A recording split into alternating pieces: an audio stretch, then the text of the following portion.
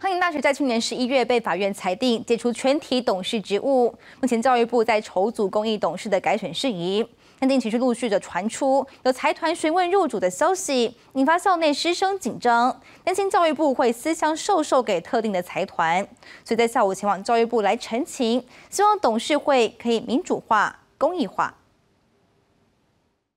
拒绝财团入主，拒绝财团入主。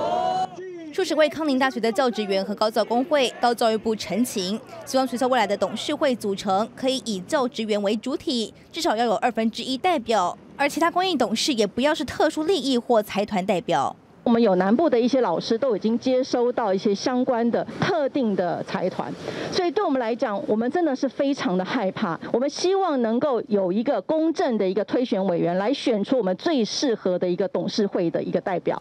根据会计资料显示，康宁大学的资产有三十六亿，一零九学年的新生注册率超过百分之九十四，运作良好。会引发这一次事件，主要是因为向台糖承租土地作为台南校区，但去年无法缴交权利金，后续承诺要捐资解决问题也没有达成目标，所以教育部向法院申请解除全体董事的职务获准，目前正筹组供应董事改选。结果近期传出有财团想入主，所以呼吁教育部不要私相授受，应该让董事会公益化、民主化。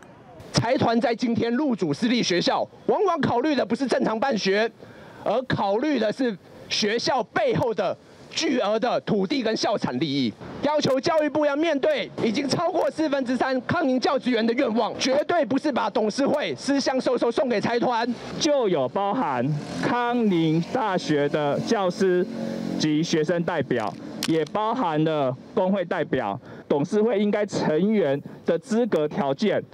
通通会在这个委员会做讨论，没有。透过私相授受给特定的团体以及特定的财团。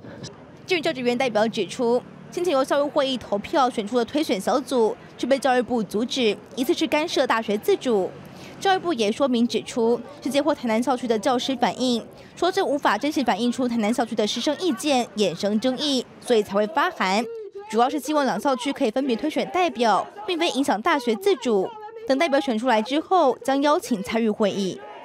记者唐人陈博玉、张国良台报道。